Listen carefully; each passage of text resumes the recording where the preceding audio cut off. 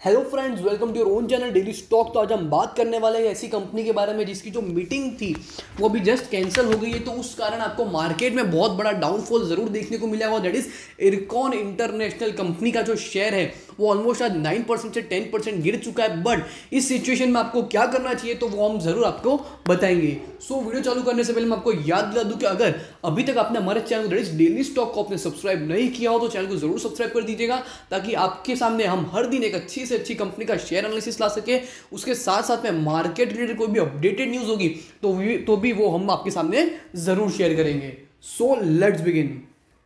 सबसे पहले इरकॉन इंटरनेशनल जो कंपनी जिसका जो बोनस की जो आज मीटिंग थी, वो आज होने वाली दैट इज़ फिफ्टीन फेबरी को। वो उनका जो प्रपोजल था, वो आज मीटिंग कैंसिल हो गई और वो होगी अभी पोस्टपोन्ड हो चुकी है वो मीटिंग और होगी अगले दिन। उसकी जो एक परफेक्ट डेट है वो अभी तक आई नहीं है मार्केट में, बट जैसे ये न्यूज़ मार्केट में आई, जो शेयर का जो प्राइस है वो ऑलमोस्ट नाइन परसेंट से टेन परसेंट गिर चुका था और कंपनी ने वन पॉइंट थ्री रुपीज़ का डिविडेंड भी डिक्लेयर किया है। ऑल दो जो मीटिंग थी बोनस की, वो कैंसिल हो गई है और वो होगी बाद में उसकी डेट आपके सामने जैसी आएगी, वो भी हम आपके सामने ज़रूर लाएँगे। बट अभी के करंट मार्केट प्राइस के हिसाब से अगर हम शेयर को कंपेयर करते हैं तो सेक्टर का पी कितना है? Forty one point ninety seven और शेयर का पी कितना है? टेन पॉइंट थ्री जो कि अगर मैं सेक्टर के हिसाब से कंपेयर करूँ तो आपको ये शेयर बहुत ही ज़्यादा अच्छे प्राइस वैल्यूएशन पे आपको अभी देखने को मिल रहा है। सेक्टर का जो पीबी है, वो भी है फोर पॉइंट नाइनटीन के वैल्यूएशन पे और शेयर का पीबी कितना है? वन पॉइंट नाइनटीन तो मेरे हिसाब से पीबी रेशियो के हिसाब से भी यह शेयर आपको काफ़ी अच्छा मिल रहा है। और डिविडेंड डील की बात करते हो तो डिविडेंड डील काफ़ी अच्छा है इस शेयर का दैट इज़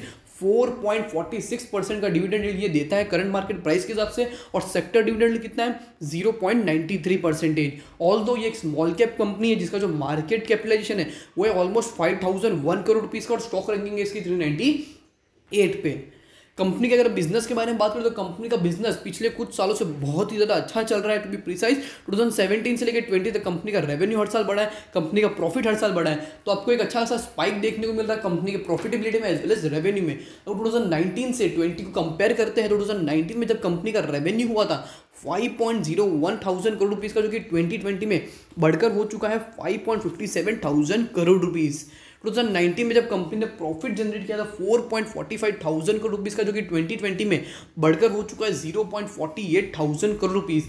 तो कंपनी के फंडामेंटल्स बहुत ही ज़्यादा क्लियर है और बहुत ही ज़्यादा स्ट्रॉन्ग है कंपनी उसके बेसिस के हिसाब से. ऑल दो अगर मैंने आपको जैसे पहले बोला कि इरकॉन इंटरनेशनल लिमिटेड के शेयर जैसे ही मीटिंग कैंसिल हुई, उसकी जो न्यूज़ मार्केट में ऑलमोस्ट शेयर नाइन परसेंट के आसपास इसमें गिरावट आपको देखने को मिली है that is nine point four percent गिर चुका है ninety six point thirty four rupees के आसपास करंटली अभी मार्केट में ट्रेड हो रहा है. हम मार्केट आवर्स के बीच में न्यूज़ बता रहे ताकि आपको क्या, आपको पता चल सके कि अब आपको इस सिचुएशन में क्या करना चाहिए। कंपनी फंडामेंटली बहुत ज़्यादा स्ट्रॉन्ग है और कंपनी का डिविडेंड बहुत ज़्यादा अच्छा है। अगर आप लॉन्ग टर्म परस्पेक्टिव के हिसाब से सोचो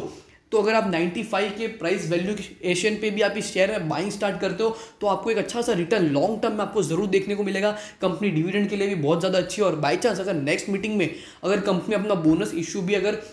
दे दी तो आपको एक अच्छा सा मुनाफा भी हो सकता है उसमें। और करंटली इन्वेस्टमेंट का जो डिसीज़न होगा वो तो पूरा आपके ऊपर होगा कि आपको इस कंपनी में निवेश करना है या नहीं करना है। सो so, होप करता हूँ कि आपको इरकॉन इंटरनेशनल लिमिटेड कंपनी के बारे में जो भी हमने मार्केट में जो न्यूज़ आई है वो आपको अच्छे समझ गई हो। अगर आपको वीडियो अच्छी लगी वीडियो को लाइक शेयर और हमारे चैनल को सब्सक्राइब करना ना भूलिएगा। अगर आपको इस वीडियो रिलेटेड या फिर कोई इस कंपनी रिलेटेड कोई डाउट या फिर कोई क्वेरी भी हो तो वो भी आप हमें कमेंट सेक्शन में ज़रूर बता दीजिएगा, ताकि हम उसका सॉल्यूशन आपके सामने जल्द से जल्द ला सके। So thank you